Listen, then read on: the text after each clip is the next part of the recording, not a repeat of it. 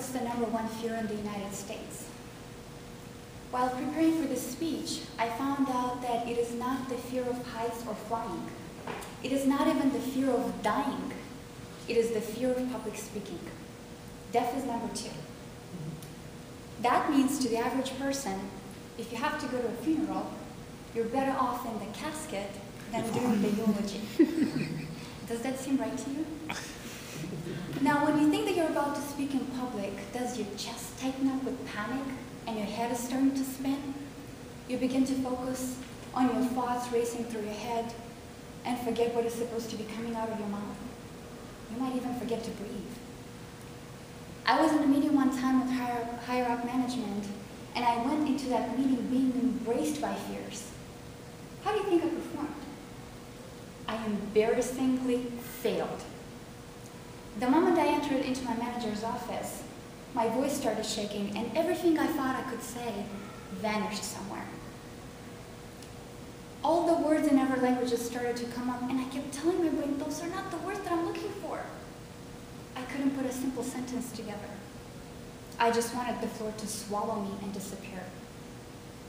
Ladies and gentlemen, why do you think I, I failed? Because I allowed my fears to control me. I was paralyzed by them. So I want to ask you a question.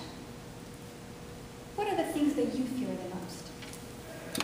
That have been keeping you from living your dreams?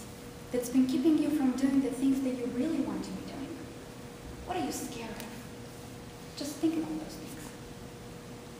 A lot of people are um, being held back because they have the fear of people not liking them. You know how many people don't do the things they want to do only because they want everybody to like them? Well, let me make a special announcement. Everybody is not going to like you. A lot of people won't, won't stand up for the things they believe in, won't take a right or left. They will just go along with everybody in life, not trying to shake anything off, not trying to make any waves for themselves, because they're afraid to be disliked. They're afraid to be different. I like what Bill Cosby says, and I quote, I don't know what the key to success is, but I know what the key to failure is, trying to please everybody. In one of my books, I was reading a story about a man whose neighbors had a bulldog. And every single day, when this man was going home, this bulldog used to chase him about a few blocks.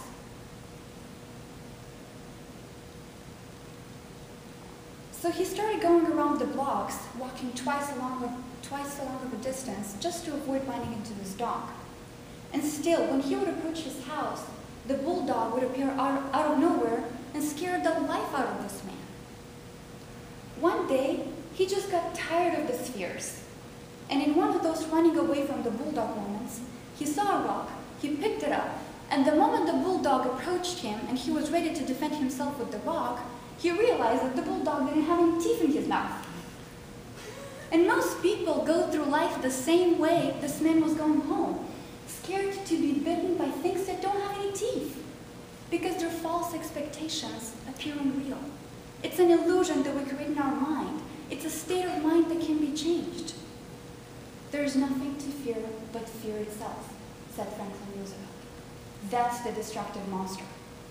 And a lot of our fears are not life or death fears, but through our imagination, we blow them out of proportion and give them more power than they actually have or deserve, and we permit them to govern our lives. It's very important to watch our inner conversation and discipline our thinking and imagination, because if we don't, our mind will take us on a wild trip.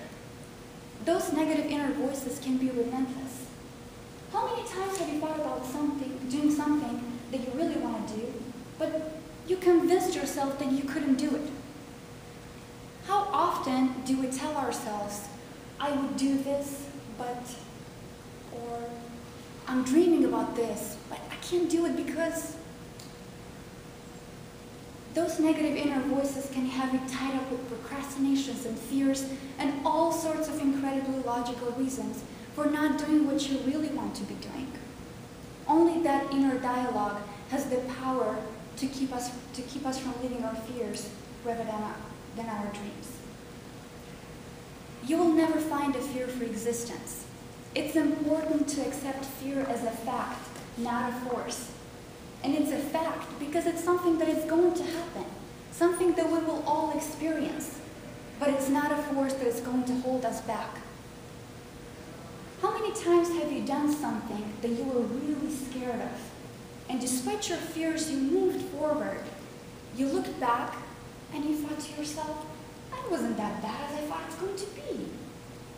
Be your own motivator and remind yourself in those fearful moments that I'm not going to allow my fears to stop me. Trust yourself and believe in yourself and your dreams. You don't need anyone's approval but yours. Fear doesn't have any special power other than the one you're giving it.